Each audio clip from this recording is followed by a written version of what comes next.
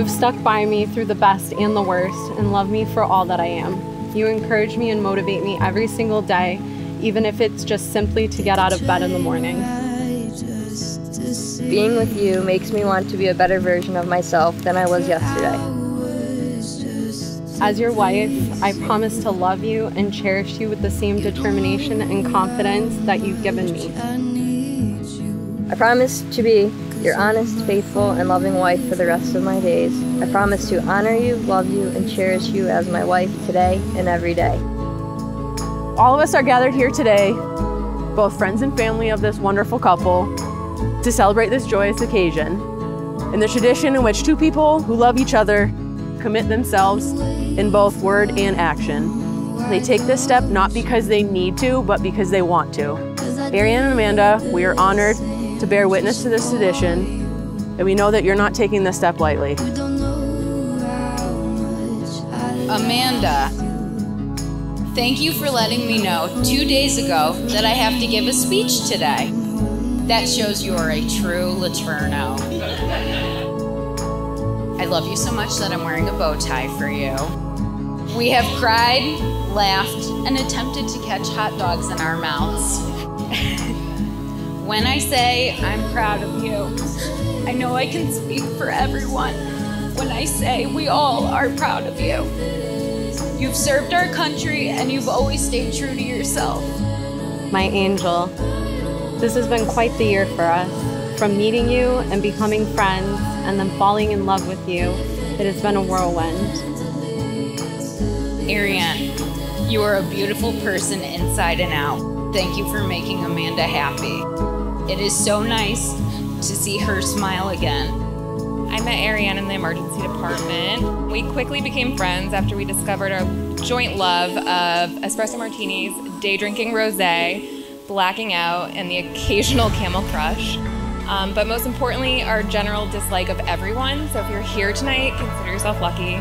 Arianne, who knew last year we would be standing here about to get married? I thought you had a bad case of RBF, even with a mask on.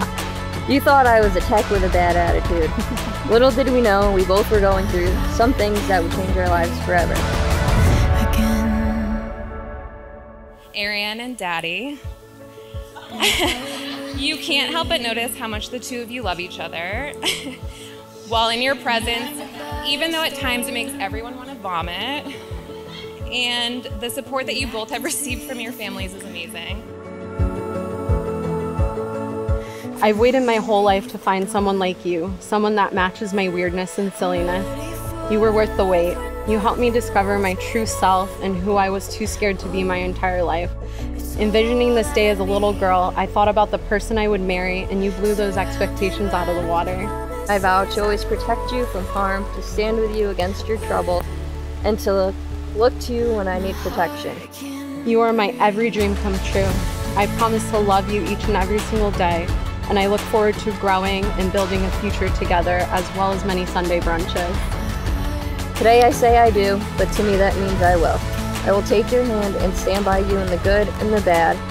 I can't wait to be wrinkly old ladies together forever and always. You are my best friend, and my life is forever entangled with yours from this day forward. I dedicate myself to your happiness, success, and smile.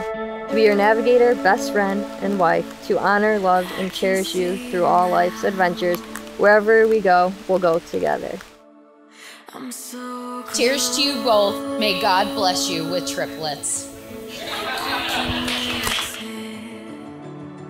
I wish you both a lifetime of happiness and health.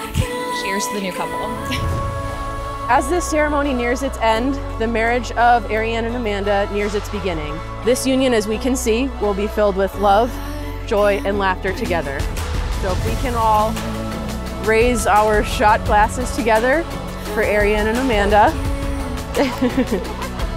it gives me great honor to pronounce you Mrs. and Mrs. Laterno. You may now kiss the bride.